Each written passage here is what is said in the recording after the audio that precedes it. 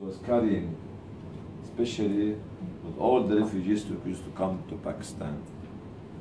It was the cross border of the Muslim civilization in the greater India, in the good old days, when the Afghan used to come.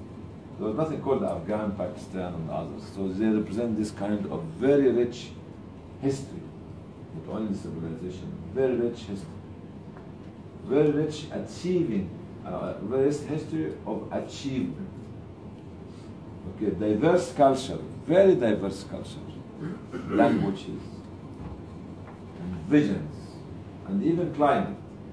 You look from Balochistan to KPK to Sindh to Kashmir to others. You are not in a normal country which have got one language, one culture, one history. Very few countries are like this. And they can be one of the most advanced countries. They can be one of the most advanced countries if we put our heads together. But the gap between the rich and poor is huge.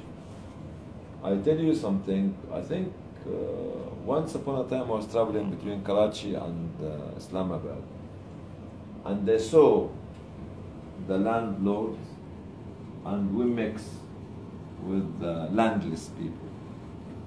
And I don't know why I started crying the whole journey between, no, Islamabad and Karachi, not, not vice versa. Islamabad and Karachi.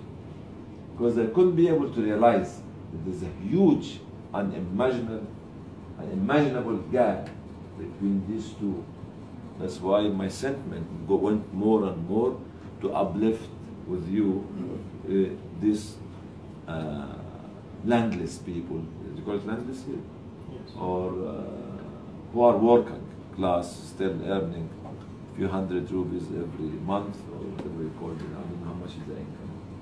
This is between the richness of the history and the suffering of the people, the love comes. It's not just something because you have got beautiful scenes or beautiful woman or whatever. No, you have because you benefit from you. It's a mix of feeling to empower and enriching the history that they created when they were actually actually focusing on the country or the citizens of the country.